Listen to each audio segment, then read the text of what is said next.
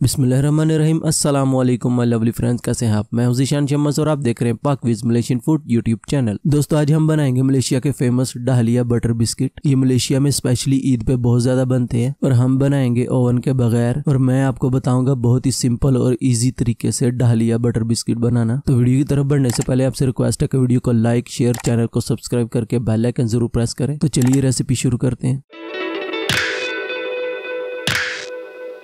Biscuit बनाने के लिए यहाँ पे मैंने लिया बटर 85 ग्राम बिस्मिल्लाहिर्रहमानिर्रहीम। बटर रूम टेम्परेचर होना चाहिए। अगर आपने फ्रिज में रखा है तो थोड़ी देर बाहर रखें नॉर्मल होने के बाद आप यूज़ कर सकते हैं। अभी इसके ऊपर एक छन्नी रख लेंगे और यहाँ पे मैंने ली है शुगर पाउडर 50 ग्राम इसको छान के ऐड करेंगे। इन नॉर्मल शुगर को मैंने ग्राइंडर में डाल के पाउडर बनाया था, वो यूज़ कर रहा हूँ।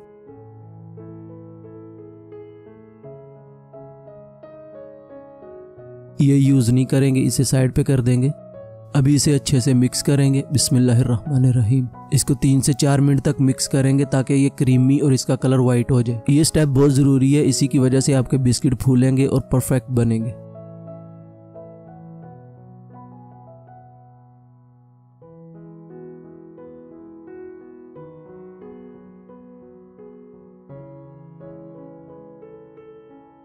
चार मिनट मिक्स करने के बाद, माशाल्लाह, आप देख सकते हैं, ये क्रीमी सा बन गया और इसका कलर भी वाइट हो गया बिल्कुल ऐसे होना चाहिए कि आप इसको उठाएँ भी तो ये गिरे नहीं।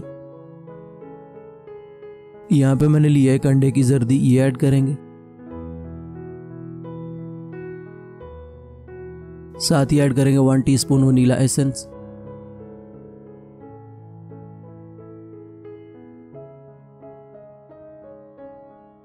अभी इसे भी मिक्स कर लेंगे 40 सेकंड के लिए।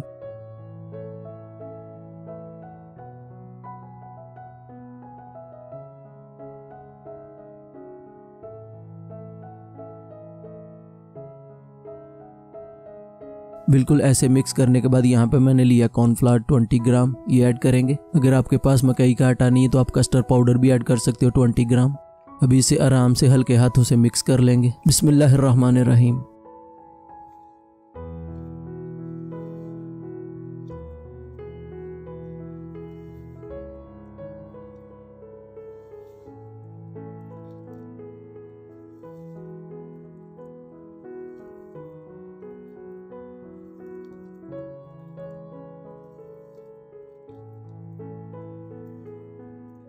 कॉर्नफ्लावर मिक्स करने के बाद यहाँ पे मैंने लिया वन कप मैदा 126 ग्राम है। ये थोड़ा थोड़ा करके ऐड करेंगे। अभी इसे भी सॉफ्टली मिक्स कर लेंगे।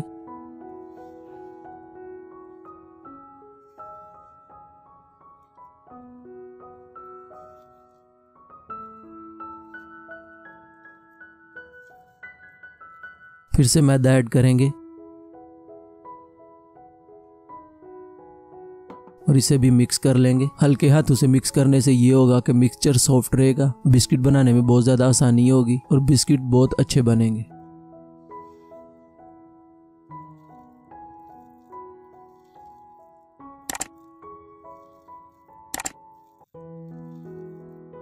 लास्ट वाला भी ऐड कर देंगे और इसे भी मिक्स कर लेंगे।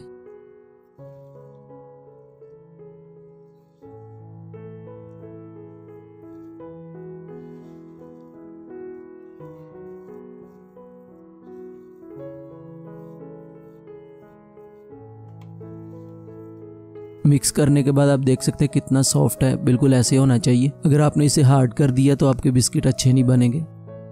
अभी इसे 10 मिनट के लिए रेस्ट देंगे। आफ्टर 10 मिनट यहाँ पे मेरे पास कुकीज कटर है और एक नोजल है। ये बिस्किट नॉर्मली नोजल से बनते हैं, क्योंकि डहलिया बटर बिस्किट इसको इसलिए कहा जाता है कि डहलिया मलेशिया में एक फ्लावर का नाम है। तो फ्लावर तब भी बनेगा जब आप नोजल यूज़ करोगे। अगर आपके पास नोजल या बिस्किट कटर नहीं तो आप कोई भी बोतल का ढक्कन, कोई भी चीज़ यूज़ कर सकते हैं, उससे भी बिस्किट अच्छे बनेंगे। लेकिन मैं ये नोजल यूज़ करूँगा। अभी ये नोजल में मिक्सचर ऐड करेंगे। बिस्मिल्लाहिर्रहमानिर्रहीम।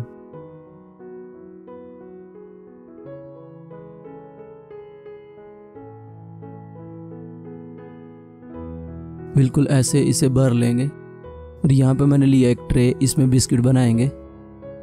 अभी नोज़ल को प्रेस करके बिस्किट बना लेंगे बिल्कुल ऐसे। और लास्ट में आके इसको आहिस्ता सा घुमाएँगे ताकि ये अलहदा हो जाए, बिल्कुल ऐसे। दूसरा भी सेम इसे प्रेस करके।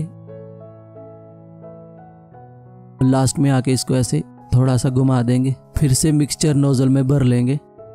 बिस्किट बनाने के टाइम पे इनमें स्पेस ज़रूर रखें ताकि बेक करने के टाइम पे ये आपस में टच ना हो। बिल्कुल ऐसे ही हम सब रेडी कर लेंगे।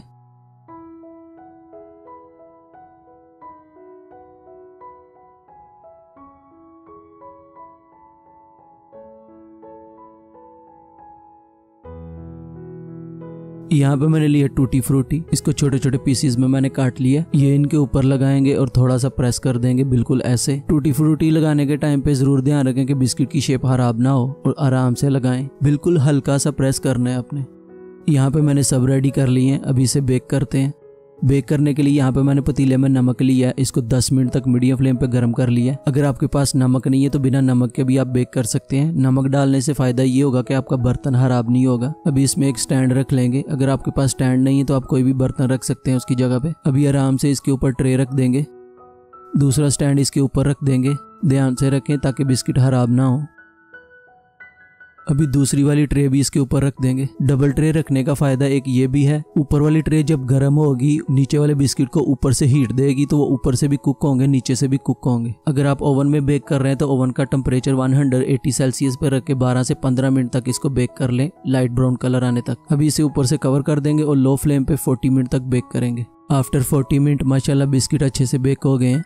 इसे निकाल लेते हैं और नीचे वाली ट्रे भी चेक कर लेते हैं। माशाल्लाह, नीचे वाली ट्रे के बिस्किट भी अच्छे से बेक हो गए हैं। अभी इन्हें निकाल लेते हैं और ठंडा कर लेते हैं। माशाल्लाह, dahlia butter biscuit is ready now. ये स्पेशली बच्चों को बहुत ज़्यादा पसंद आएँगे। आप इसे किसी भी कंटेनर में स्टोर कर लें और इंजॉय करें टी टाइम में। अब आप भी बनाए बिस्किट अपने घर में बहुत ही सिंपल और इजी तरीके से। अगर आपको डहलिया बटर बिस्किट की रेसिपी अच्छी लगी तो वीडियो को लाइक शेयर और चैनल को सब्सक्राइब करके बेल आइकन ज़रूर प्रेस करें। मिलते हैं एक नई मज़ेदार रेसिपी के साथ। तब तक के लिए अपना बहुत सारा ख्याल रखें, हमें दो में याद रखें अपने भाई को दीजिए इजाज़त। अल्लाह हाफिज़।